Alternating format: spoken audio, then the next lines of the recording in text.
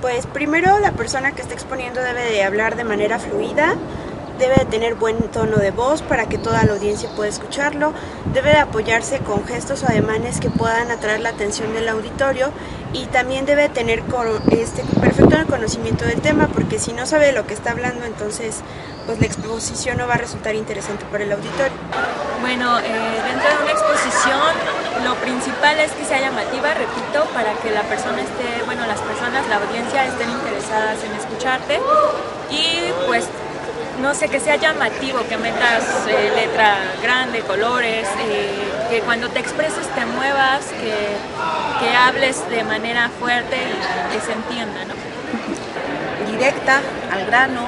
y tiene que ser en, en nuestras propias palabras una exposición para, para mí, lo más importante es que debe ser concreta, coherente, debe llevar una secuenciación